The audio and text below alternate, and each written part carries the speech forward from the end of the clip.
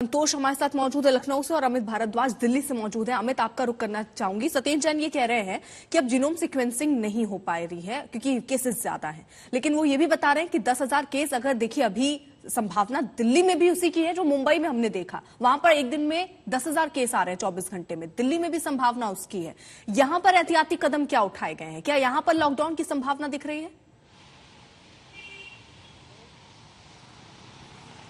जी देखिए दिल्ली के जो स्वास्थ्य मंत्री हैं सत्येंद्र जैन, उन्होंने अर्पिता बहुत साफ़ रूप से ये इस बात को माना कि आज लगभग दस हज़ार केसेस दिल्ली में आ जाएँगे और पॉजिटिविटी रेट 10 परसेंट तक पहुँच जाएगा। यानी कि महाराष्ट्र वाले हालात अब दिल्ली में भी होने वाले हैं। जहाँ तक ओमाइक्रॉन वेरिएंट की बात है जो पहले ही सिद्ध हो चुका है कि लगभग 80 प्रतिशत से ज़्यादा केसेस दिल्ली में असल में ओमाइक्रॉन वेरिएंट के हैं। तो इसी वजह से जेनोम सिक्वेंसिंग को अब सैंपल साइज़ में ही रखा जाएगा।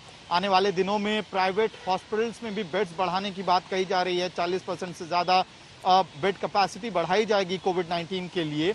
जहाँ तक लॉकडाउन का सवाल है, कल ही दिल्ली का डिजास्टर मैनेजमेंट अथॉरिटी जो है उसकी मीटिंग हुई थी और उस मीटिंग में तय किया गया था, फ़िलहाल रेड अलर्ट जैसे रेस्ट्रिक्शंस दिल्ली में नहीं लगाए जाएँगे।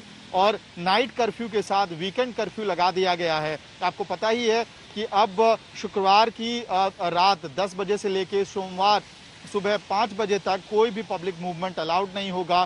सिर्फ़ एसेंशियल सर्विसेज़ से जुड़े लोगों को बाहर जाने आने का परमिशन होगा। और जो ज़रूरी सामाना सामानों के दुकान है, चाहे वो मेडिकल स्टोर्स हो, राशन की दुकानें हो, उनको चलाने का आदेश दिया गया है। इसके साथ ही जो प्राइवेट ऑफ़िस हैं, वहाँ पे भी रेस्ट्रिक्शंस लगाए गए हैं। तमाम प्राइवेट ऑफ़िस जो दिल्ली से चल रहे हैं, उनको कहा गया है कि सिर्फ़ आप 50 प्रतिशत स्टाफ को ही ऑफ़िस बुलाएँ और बाकी को वर्क फ्रॉम होम मोड में काम कराएँ। दिल्ली के सरकारी दफ्तरों में काम करने वाले कर्मचारियों के लिए वर्क फ्रॉम होम मोड का आदेश जारी कर दिया गया है। हालाँकि जो ज़रूरी सेवाओं से जुड़े हुए कर्मचारी हैं, उनको अभी भी दफ्तर जाना पड़ेगा। यानी कि जो नए रेस्ट्रिक्शंस है, वो तो लागू हो गए हैं। वीकेंड कर्फ्यू है नाइट कर्फ्यू है, लेकिन जहाँ तक लॉकडाउन का सवाल है, फ़िलहाल दिल्ली के अलग अलग मंत्री यही इंडिकेशन दे रहे हैं, दिल्ली सरकार यही इंडिकेशन दे रही है कि लॉकडाउन तो नहीं लगाया जाएगा। और कल दिल्ली के स्वास्थ्य मंत्री सत्येंद्र जैन ने इनकार भी किया था लॉकडाउन के मसले से। और संभवतः इसके पीछे वजह यही है कि फ़िलहाल जो हॉस्पिटलाइजेशन रेट है दिल्ली में, वो नहीं बढ़ा है।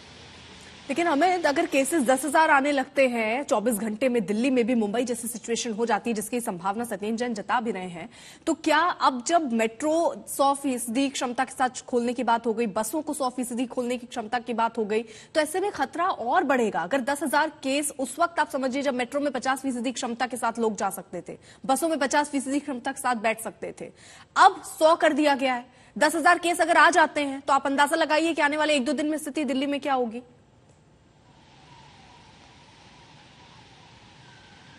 निश्चित रूप से और हेल्थ एक्सपर्ट्स भी इसी बात की तरफ़ इंडिकेशन कर रहे हैं, इशारा कर रहे हैं कि असल में जो ओमाइक्रॉन वेरिएंट है, जिसकी लहर दिल्ली में आई हुई है, ये वैसे भी बहुत तेज़ी से फैलता है।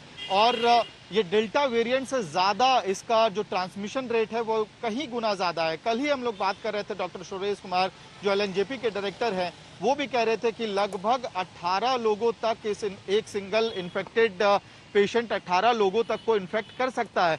यानी कि जो इन्फेक्शन का खतरा है ट्रांसमिशन का खतरा है, वो कहीं ज़्यादा है ओमाइक्रॉन में।